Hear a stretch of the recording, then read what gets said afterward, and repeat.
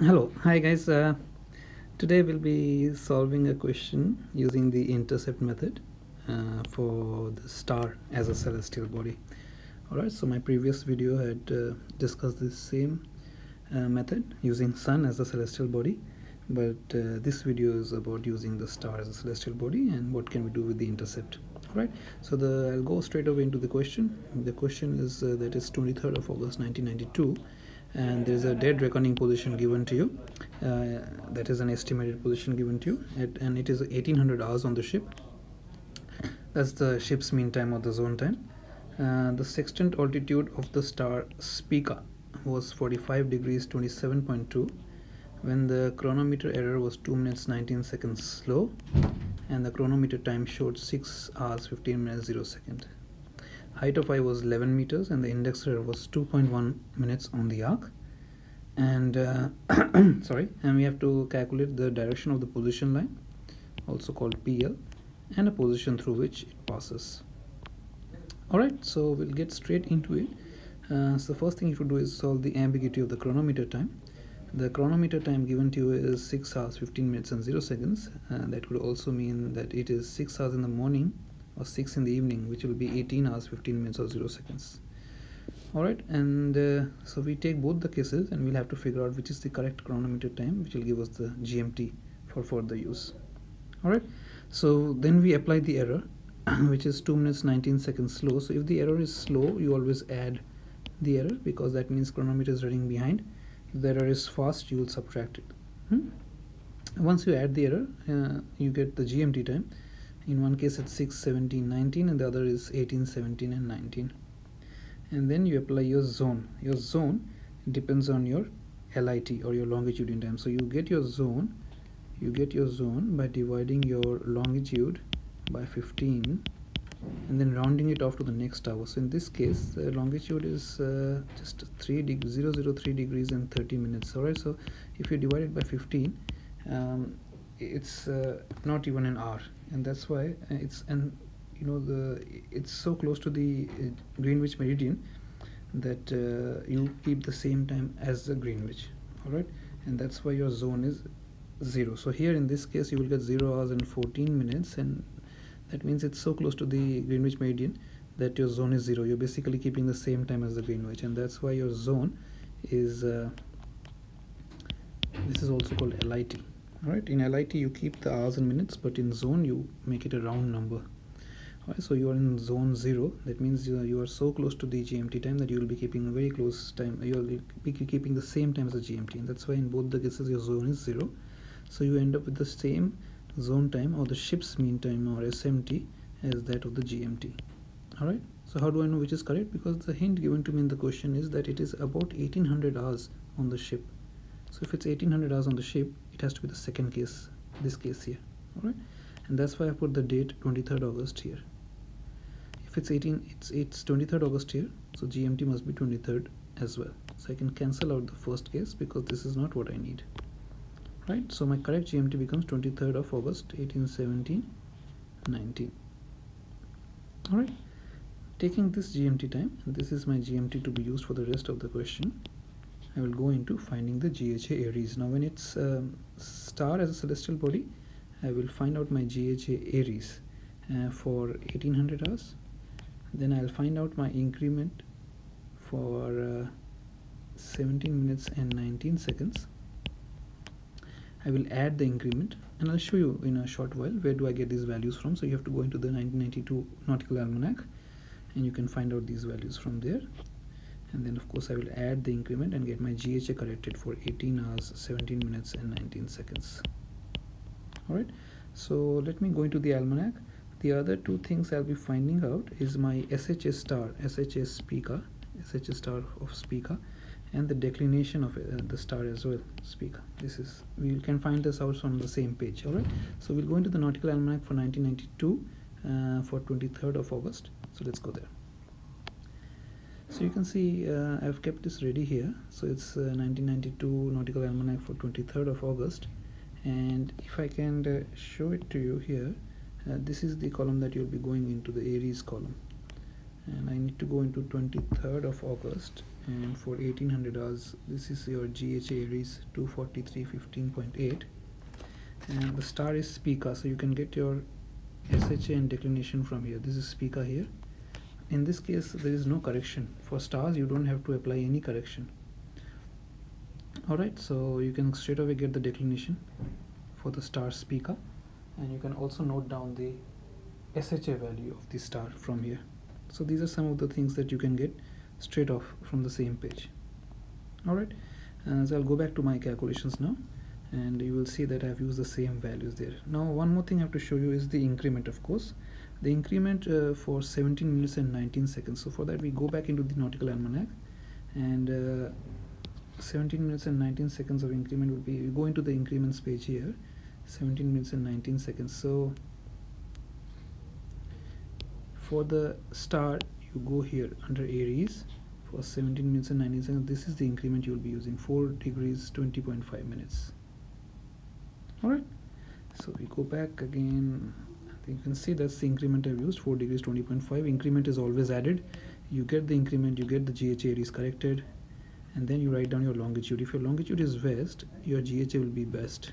That means GHA will be more than LHA so you will subtract the longitude. If it's west longitude. If it was east then GHA would be least LHA would be more you will add the longitude. But if longitude is west GHA is the best and you will subtract the longitude and you get your LHA Aries once you get your LHA Aries just add your SHA star that you got from the first page previous page that I showed you. SHA is always added regardless. But if on adding you see that LHA is gone more than 360 you will subtract it from 360 LHA value has to be less than 360 it cannot be more than 360 alright? And then this is your corrected LHA if LHA is between 0 to 180 the LHA is called west. This is the west LHA if it is more than 180 to 360 LHA would have been called east. Then we start solving the sextant altitude. The sextant altitude is given to us as 45 degrees 27.2 you apply your index error 2.1 on the arc. When it's on the arc you will subtract it. If it was off the arc you would add it. So in this case it's on the arc you will subtract it. And what you get is the observed altitude of 45 degrees 25.1 using this observed altitude then you apply the dip correction or the height of eye correction. Now dip is for 11 meters so you have to go back into the almanac. On the normally on the very first page of the almanac you have the height of eye correction. So you can get the height of eye correction of 11 meters uh, from there. And I'll show you where what else you can get from that page because we'll be on that page. You can also get the once you apply the height of eye correction which is always negative you subtract it you get apparent altitude of 45 degrees 19.3 you can also get the total correction value. You can get the total correction value for the star as well. So I'll show you both the things together. So we remember that it's dip of 11 meters and apparent altitude of 45 degrees 19.3 so if I go back into the almanac and if I shut this page off and I go so it's normally on the very first page. This is the page right?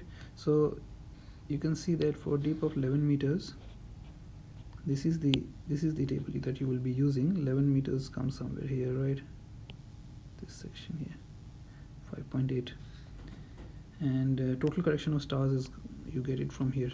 For apparent of 45 degrees 19.3 so you'll get it somewhere here middle of this. You don't have to do any interpolation. This is the total correction minus 1 alright so you can use the values from here. And once you go back here you can see the dip is minus 5.8 and the total correction is minus 1 alright so you know where to get these values from. Uh, then you will subtract it and you get a true altitude of 45 degrees 18.3 if you subtract it from 90 degrees you get a true zenith distance. This is tzx or TZD some books write TZD don't worry about the CZX and intercept at this stage. So till this stage you only have your TZX alright we'll stop at TZX or true zenith distance. Next after true zenith distance you'll go here. You'll start calculating the calculated zenith distance or CZX and you how do you do that you just use the formula here cos LHA times cos of lat cos of declination plus or minus sine lat or sine declination. Now why is there a plus or minus? Because it will depend on the signs of the latitude and declination. If latitude and declination are same names, such as both of them are south or both of them are north, you will use the plus sign. If one of them is different from the other, such as one is south and the other is north, you will use the subtract sign. Now in this case you can see both latitude and declination are south. so you will use the plus sign correct then you simply use the formula put in the values of the LHA lat and declination use the plus sign because lat and declination are same names. Then sign of the lat and declination put in the values follow my prompts here see what values I've got. You should be getting the same values if you solve it. And finally a cos inverse of the final value will give you the CZX of 44 degrees 41.3 minutes. Using this CZX of 44, 44 degrees and 41.3 put it here. Back go back to where you wrote your TZX put your CZX here as well. So you write them both together and then come make a comparison. So you can subtract the bigger number from the smaller number or rather the smaller number from the bigger number. And the rule is uh, if true true and the distance is less. So what we say this rule is called TTT if true is tiny it's two words. So if true is tiny it's two words. If 2 is more than czx then it is away so in this case you can see that true zenith distance is more than calculated zenith distance. So if tzx is more than czx you will name it away. If true was less than czx you would name it towards so in this case your intercept is 0.4 away. Why is it 0.4 I just subtracted the smaller number from the bigger number. So tzx minus czx will give me my intercept once I got my intercept I have to calculate my bearing in position line. So for that I'll calculate my components of A B and C. You can use the Norie's tables as well to do so but these days we have calculators scientific calculators that's much faster. So A is tan lat divided by tan P. Simply put in the value of so when we say P that also means LHA alright so just put in the value of the latitude and LHA you will get 0.77 if you ever get a negative sign just ignore the negative sign then you name it north. You name it north because it's named opposite to latitude unless LHA is between 90 and 270 your LHA is not between 90 and 270 it's 41 degrees 54.9 so you will name it opposite to latitude. So your latitude was south that's why you named it north. Then you have B. B is calculated from tan declination divided by sine P or sine of LHA simply put in the values here you should be getting 0.29 this is named same as declination. Named always same as declination. Alright if you ever get a negative sign just ignore the negative sign. So if you ever get negative signs with A or B ignore them. Alright we use the components on north and south to find out whether they have to be subtracted or added. Then you write down A and B here. The rule is if A and B are different names you will subtract it. So if one is north the other one is south or one is south the other one is not you will subtract it. If they were same names you would add it. Now in this case they are different names. So you subtracted it and you get your C. And you retain the name of the larger. So in this from A and B A was larger. So you retain the same name. So north comes here as well. Finally you find out your azimuth. So the formula is tan of azimuth equals 1 divided by c times cos of latitude. Put in the value of c which is 0.48 and latitude you know that already. It's a dr latitude solve the denominator first get the answer follow my prompts get a tan inverse and then you get your azimuth. So your azimuth here that you will get is 68.4 degrees. Depending on the number of decimal places some of you might get a slightly different answer but nothing more than 68 or 68.5 68.8 or something like that. I have rounded it off to 68 degrees because we are working with bearings and sometimes you need to plot these on the plotting sheet so I've rounded it off. Even if you continue with the same bearing that's fine but if you have to plot it then it's better to work with whole numbers and that's why I've made 68.4 into 68 degrees. If it was more than 0.5 I would have named it 69 then I have named it north 68 west. How did I get my north and west from? North I get from my C. Whatever my C is name of C I'll put that here. Whatever my C is I will name it here. This I get from my LHA so initially we had named our LHA West as you remember. If LHA is between 0 to 180 you can see over here. LHA is West so I will name this same as LHA so if LHA is between 0 to 180 it's named West. If it's more than 180 to 360 it's named East. Alright so in this case it's Northwest 68 that also means this is equal to 292 degrees. So if you ask me how then this is how you have to uh, understand it. This is north this is 000 or 360 and this is west. 270 and this is 000 or you can also call it 360 so if you're going north 68 west that means about here 68 degrees. You are going 68 degrees from north towards west and then this becomes 292 that's why this is 292 degrees. True is your bearing or your azimuth. True bearing. All right to get your position line just subtract and add 90 to it. So if you add 90 you will see you get 382 it cannot be more than 360 so you will subtract from 360 you get 022 degrees. And if you subtract 90 from this you get 202 degrees. So your position line becomes 0222 to 202 degrees. This is your position line. So that basically means that at any position when you're drawing you will draw it at a bearing of 292 which will go somewhere here. This is could be your dr lat and long although one of them should be observed lat but doesn't matter. In this question it's dr lat and long. And you draw it towards a bearing of 292 for an intercept of 0.4 now in this case it was 0.4 away. Am I right?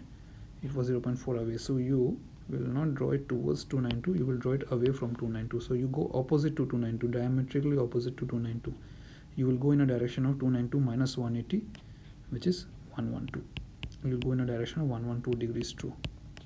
0.4 when he says 0.4 minutes is 0.4 miles basically. And then when over here you draw a perpendicular line this gives you a position line. This orientation of the position line is 022 to 202 degrees. So that's the concept behind it. All right? So if you have any questions please uh, write uh, in the comments. And i'll happy to answer them. And i'll see you soon. Thanks for watching